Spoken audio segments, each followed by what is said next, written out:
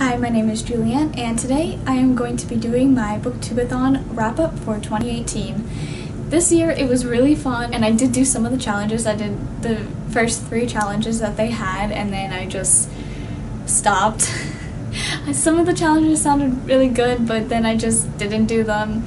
Either I didn't have time, or I was a little bit lazy, to be honest, but next year I'm gonna go for vlogging four days straight. That's my goal every year, just up it by one day and maybe eventually I'll vlog for the full seven days.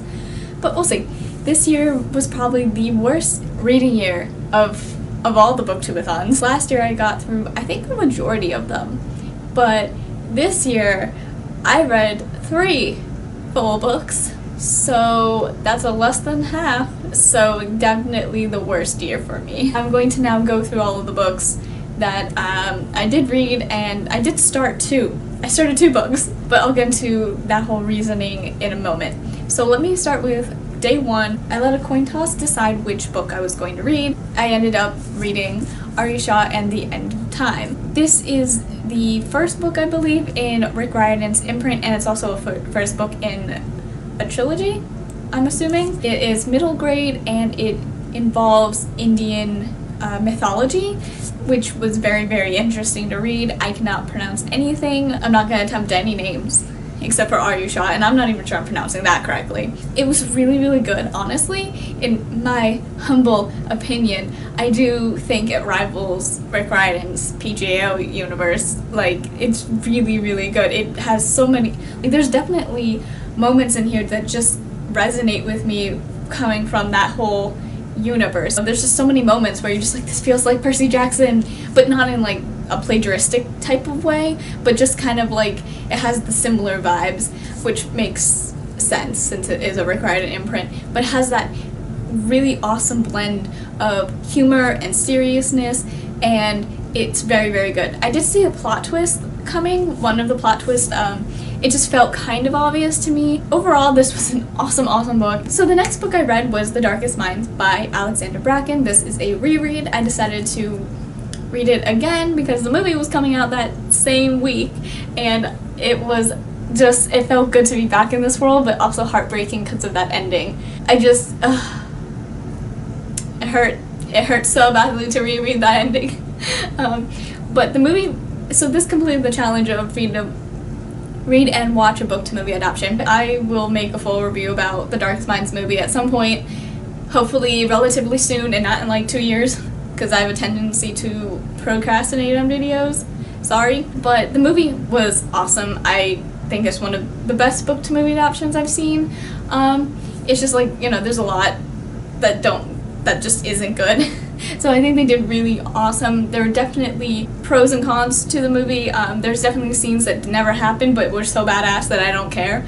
And then, especially to the end, towards the end, it was definitely rushed in the beginning. I, I don't know if it's better to read the book first and then watch it, or vice versa, but I think reading the book is better just so you have a better understanding because the beginning is so, so rushed. Like, I was like, guys, you guys need to slow down, calm down a little bit. We barely get to see Thurmond. We barely get to see the conditions of these camps, and it kind of bothers me because, like, seeing that really kind of explains the stakes of not wanting to be there. And then definitely, I think Liam was the least like his character because there's definitely moments where I was like, Liam wouldn't do that.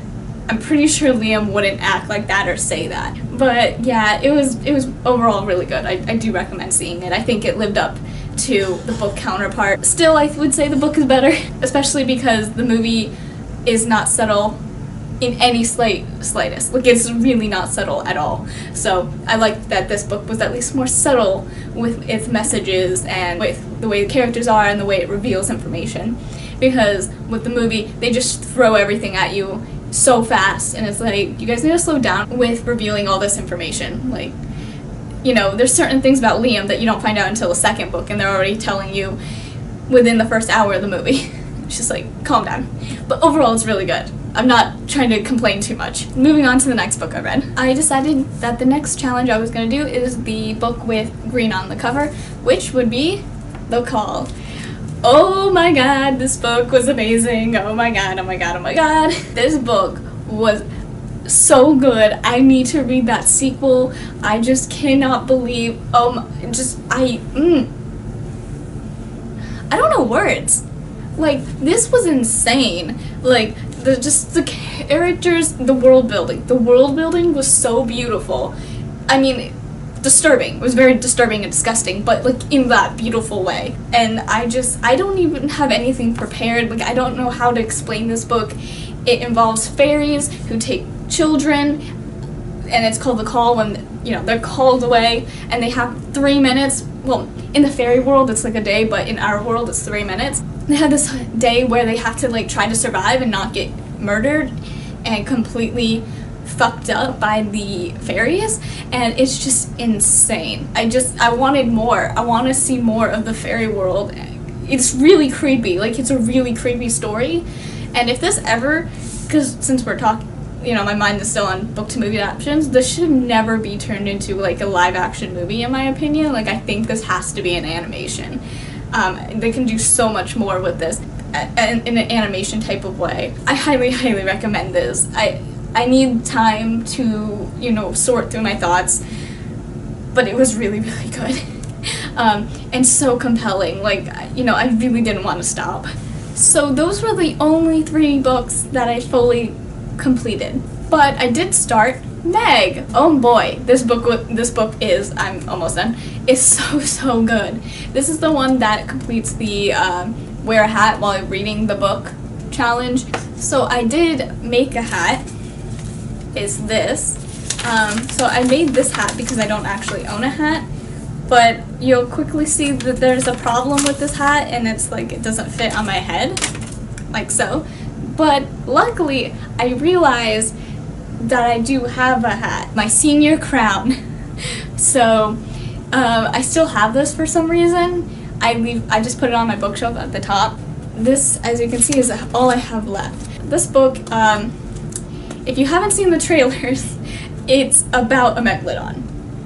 Okay, if you're into sci-fi shark movies, I don't think I need to say any more than that. Personally, I love sci-fi shark movies, so as soon as I saw that trailer, as soon as I saw that shark, the giant shark, I was like, I'm in.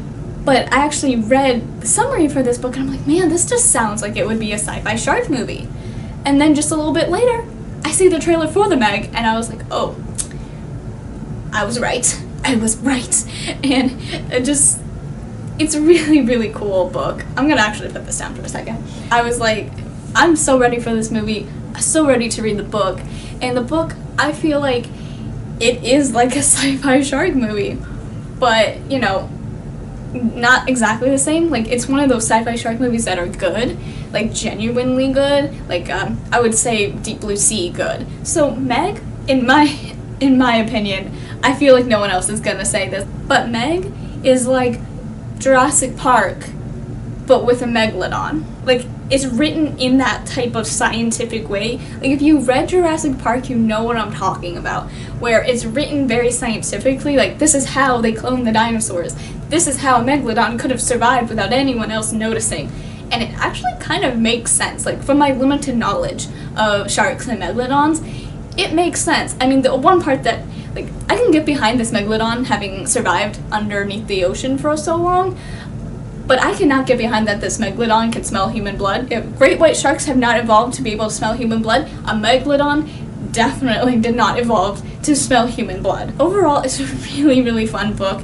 It's what you can expect from a sci-fi shark movie. You got your sharks. You got people eaten alive by sharks. It's so much fun. I love it. And the one thing that has going for it that I am so, so happy about is we get uh, points of view from the megalodon. We get to see what the shark is kind of sort of thinking, and I love it. Like, my favorite character is this megalodon, and I don't care about the humans, okay? I just want, if the entire book was from the megalodon's point of view, I'd be happy. Like, just reading from the point of view of megalodon is so much fun, in my opinion. I love it. Yeah, I'm just not gonna say any more about the book. It's awesome, and I can't wait to finish it, can't wait to see the movie and I'll try to make a separate review about it. Hopefully, again, not like five years late, like I normally do with a lot of things. Um, I'll try to make it that video as soon as possible. Next book that I started, but obviously didn't finish, is A Long Way Down to, wait, yeah, A Long Way to a Small Angry Planet. I only started it because I wanted something to read while I wasn't at home, and there was no way I was going to bring Meg and read it while wearing my senior crown in public. Like I'm not, I was not doing that, so I just brought this. It was supposed to complete the seven books um, portion of of uh, the challenges and stuff. It's science fiction. I love science fiction. You guys can't tell, and um, I didn't finish it. So far, it's good. Once I finish it, I'll actually talk about it, but there's not much to talk about right now at this moment. And the two books that I haven't even gotten to, let me tell you. So one of them was supposed to complete two challenges, uh, Pretty Spine and Something You Wanted to Do. And that was the Outcast. This had a pretty spine, and people did magic, which is something I want to do, because that's cool. I really am hyped to read this book, and I never got to it. Uh, I was going to actually have it as the last book I read, so it was the most fresh on my mind, so I can make a video about it, because I need to make a video about it. I will get to this as soon as I can, but I am hyped for this book. I love the Summoner series. It's so, so good. And the other book that I didn't get to was The Haunting of Alaizabel Cray by Chris Wooding. I try to read a Chris Wooding book every book to booktubeathon, so I'm still gonna reread this book. You know, gotta keep with tradition some way. And I'm excited to reread this book because I love Chris Wooding. He's like one of my favorite authors of all time. He's up there with Rick Riordan. So I will get to this as soon as possible. So that's it. That's everything that I read and did not read for Booktubeathon. Hope you guys had an awesome Booktubeathon. I really wanted that certificate, but whatever. So thank you for watching. I will see you next time and happy reading. Bye!